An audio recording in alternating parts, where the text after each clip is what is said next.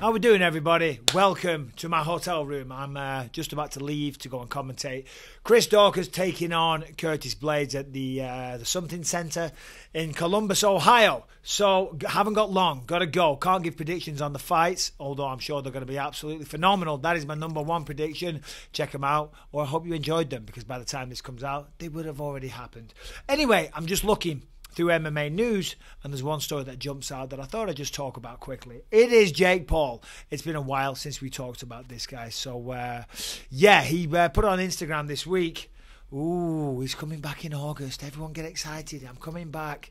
Um, and good, glad. You know, I mean, the last one he did provide an absolutely terrible, boring, uh, want to kill yourself performance until he did get the knockout over Tyron Woodley. So he delivered. That saved it. But still, the point of what I'm saying here is nothing to do with his boxing career or his next fight or who he should fight. I have no idea who it's going to be. No doubt it's going to be a tailor made opponent.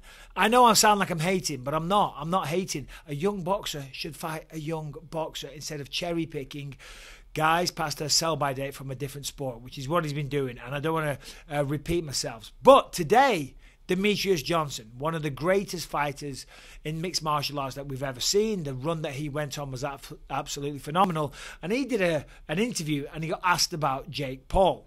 And here is what he said. Oh, Mighty Mouse said, and by the way, Mighty Mouse using some colourful language here. Mighty Mouse is like not that guy, but Jake Paul clearly evoking strong emotions uh, from one of the greatest, as I say. He says, if Jake Paul thinks he's so fucking bad at boxing and all that stuff, hats off to him. You're 3 0, 4 0 as a boxer do fucking mixed martial arts. I did an interview the other day and I was like, everyone's worried about fighting this person. Let's see how much money I can make from this person. I was like, just do mixed martial arts. If you think you're that great, just do it. If I thought I was a badass boxer, I would be like, let's just box. Um, even when they offered this fight to me against Rodtang, I was like, I'll fight Muay Thai. Uh, for those that don't know, he's fighting Rodtang, who is one of the greatest, if not the greatest, Muay Thai fighter that we've ever seen. He's doing a few rounds MMA, a few rounds Muay Thai, so he's backing up his words. And the point that he's making is Jake Paul does need to just fight mixed martial arts if he's going to continue talking about mixed martial artists, the UFC, Dana White, because he's not talking about boxers, is he? You know, he's talking shit at all the big names in mixed martial arts. He's calling out Diaz, McGregor, Poirier, Masvidal.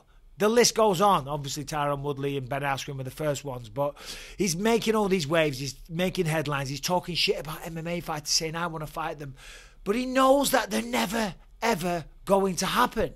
Number one, because they don't box, they're MMA fighters. Secondly, they're all under contract to the UFC. So he's making these headlines, he's talking shit, he's chirping away non-stop, but he's doing it because he knows these fights are never going to happen. So he's in no danger, you know. If he wants to really talk shit about some boxers, go ahead. I can't think of any right now because that's the problem. The the the the, the mixed martial arts are more household names than what boxers are. Other than the champions, other than your Canelos and stuff like that. I don't know his weight. What would he be? A cruiserweight, maybe? I'm not sure who to be there. Who is there? I'm not sure who's top of the food chain. But he's not calling anyone out. He's calling out MMA guys because he knows that that's safe. He knows that that's not going to come back and bite him in the ass. Because, I, I, as I say, I apologise for my ignorance here. I'm not sure who the big names are at his weight class. But if he was to go out there and chirp and make some noise and call them out and mock them and do interviews and do little videos on them on YouTube and take the piss, those boxers would take the fight in a heartbeat. The reality is, Jake Paul's a big star.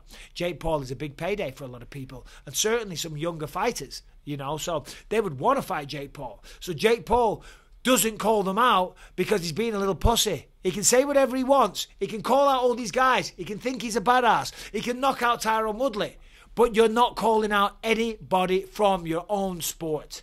It's fucking ridiculous, Jake Paul. Get a grip. Stop talking shit. Stop hitting pads. Ooh, acting all hard. Pads don't fucking hit back. Why are you talking shit about MMA guys when you should be talking shit about boxers? Why are you calling out MMA guys when you should be calling out boxers?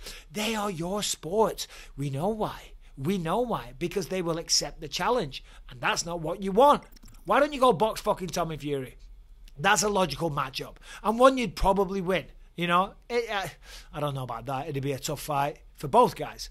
I actually thought Tommy would beat him, but the last time out when he fought on Jake and Tyron Woodley's undercard, I wasn't impressed with Tommy Fury, to be honest. But maybe he just had a bad night at the office. Happens sometimes. Prior to that, I thought that Tommy Fury uh, had a lot of promise, and I'm sure he has. Comes from a great lineage, great coaches, great mind for it, certainly a physical specimen. So he might go on, maybe just with the awkward style of Anthony Pretty Boy Taylor that he fought that night. Maybe that threw him off. So you know, I'll uh, I'll uh, give him the benefit of the doubt on that one. But why doesn't Jake Paul fight him? Right? Because they're both young guys. They're both the same size. They're both boxers.